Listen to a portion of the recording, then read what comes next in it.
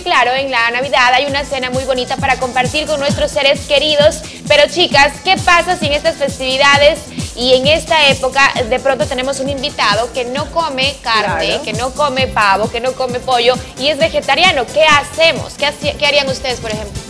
Bueno, yo creo que sí le haría un menú alterno tal vez, o este, bueno, siempre por supuesto una pasta o ensalada, algo que sepa que esa persona sí comería, ¿no? Claro, pero justamente, bueno, los que no somos vegetarianos y de repente tenemos una cena y tenemos un invitado que sí lo es, pues justamente para eso le hemos preparado la siguiente nota, porque una experta nos va a dar recomendaciones, así es, una nutricionista nos va a dar recomendaciones para que usted quede de lujo. Con un menú. así, así es, por supuesto, con un menú perfecto para ese invitado suyo que es vegetariano. Así que se lo compartimos a continuación. La Navidad es una época en que la comida toma un papel fundamental, ya que se organiza una infinidad de almuerzos y cenas con familiares y amigos para celebrar las fiestas. Pero ¿con qué alimentos podemos preparar una cena si nuestros invitados son vegetarianos? Existen algunos tipos de vegetarianos.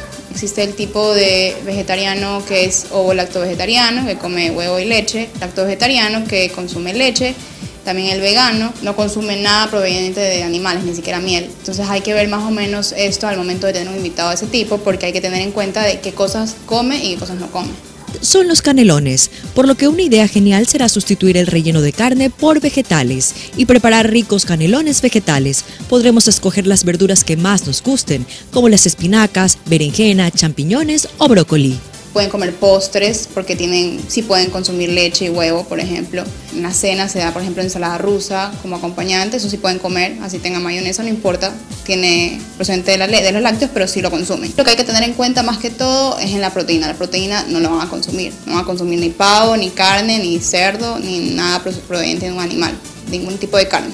Entonces ahí tienen los sustitutos que son como la soya, eh, tienen lo que es la quinoa, que también sustituye un poco la proteína, eh, los frutos secos, entonces se va jugando más o menos con qué se les puede brindar a las personas. Si vas a compartir la cena con personas que no son vegetarianos como alternativa, podrías llevar tu cena preparada con los alimentos que más te gustan.